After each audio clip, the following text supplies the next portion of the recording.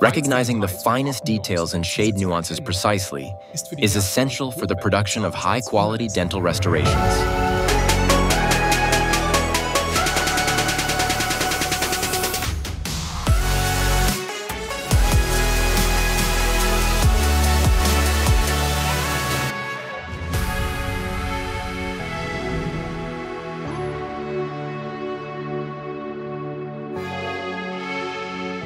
My name is Sascha Hein. I am a passionate master dental technician and color specialist. Sascha, why does light and the right lighting at the workplace play such an important role, especially in dental technology? Optimal lighting in the dental lab is crucial for the precision and quality of dental work. Good lighting reduces eye strain and improves the working conditions and efficiency of the laboratory. The innovative optical systems modulate the light so that it shines exactly where it is needed, and the eyes are not dazzled or irritated. Which features help me as a dental technician recognize poor or inadequate lighting at my workplace? If after working for a long time under your current lighting, you often suffer from tired eyes, headaches, or visual problems, then this is often a sign of poor lighting. How do you define a good light? Or rather, which properties characterize a good light for dental work? The light should be bright enough to show fine details and structures clearly, but without dazzling the eyes.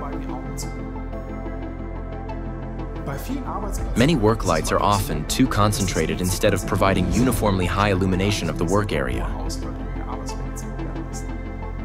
One of the focal points of your scientific work is the topic of color. To which extent can good work lighting contribute to perfect results? Light with high color rendering is essential to see the colors exactly as they are. And daylight quality serves as a benchmark here. An inadequate light source always results in color distortion.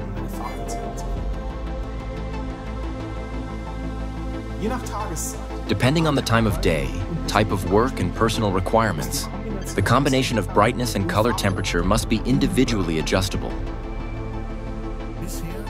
We have been talking about low glare light, uniform and bright illumination and color fastness. Is there another characteristic that distinguishes good light? The surface and texture of natural teeth is one of their most important characteristic features. To recognize and imitate these features, you need a certain ratio of diffuse and focused light. The optical systems, specially developed for dental technology, modulate the light in an innovative way to ensure an optimum ratio of soft and focused light. This makes even the finest structures visible.